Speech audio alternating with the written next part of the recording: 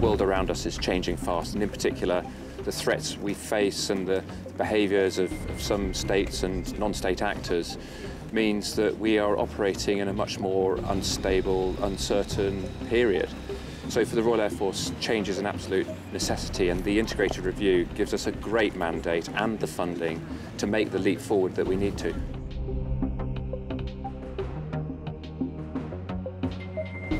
Most excited about on Typhoon at the moment is the game-changing capability that Radar 2 is going to afford.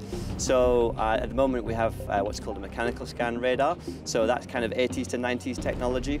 So uh, the world is moving on now with its technology in terms of uh, electronic scanned radars. So the game change that they give us is in the air-to-air -air and air-to-surface capability. So in terms of air-to-surface capability, that will mean we can uh, strike targets in all weathers using just our radar. Uh, in terms of air-to-air, -air, it gives us high resilience against electronic attacks attack, which our adversaries are developing, so uh, in terms of jamming capability, and also reliability and cost. So the new radar that's going to go in, it doesn't have any mechanical moving parts, so it's a lot more reliable and a lot more powerful. So uh, yeah, we're excited. 2025 is what we've been coded for uh, Radar 2 coming into service. Radar 2 itself on Typhoon will be uh, fused into our Link 16 network, which all uh, our NATO allies fly on. So that Link 16 network, the information that we can gather with our Radar 2 can then be disseminated to all other people who are flying in that mission, all of the fighter platforms that are flying that mission, as well as other airborne assets as well.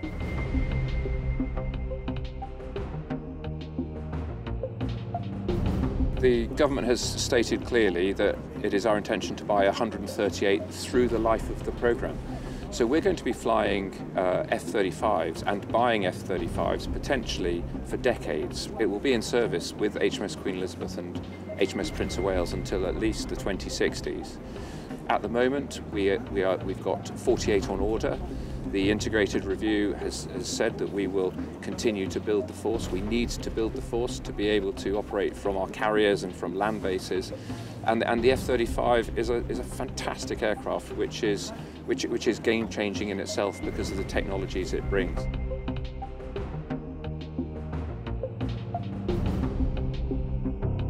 a strategic investment for the United Kingdom is the Future Combat Air System.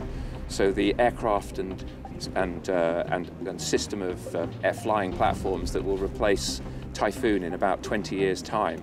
You know, that, that's 6.6 billion of uh, research and development uh, funds that have been ring fenced. Well, the, the, the, Tempest and the Future Combat Air System will be a, an essential part of that. And that is, that is the future of the Royal Air Force.